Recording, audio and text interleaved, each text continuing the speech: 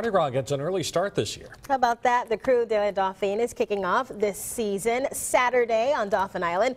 And if you plan on going, Fox News meteorologist Matt Barrentine has some tips to help you make the most of the day. It's already time to let the good times roll.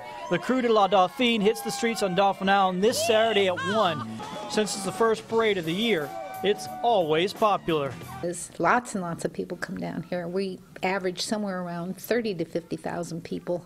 Lynn Whitman, owner of the Treasure Trove, has been watching the parades roll by her store for more than 20 years. She says with just one way on and one way off the island, an early start is a must.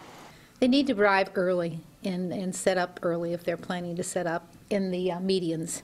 Rhonda Hopkins, who's worked and lived on the island more than a decade, says the laid back atmosphere of the parade keeps it popular. A lot of people just like to bring their grills and their kids and cook out. It's more family oriented. Uh, we don't have the barricades. Uh, it's a lot of fun. It's safe.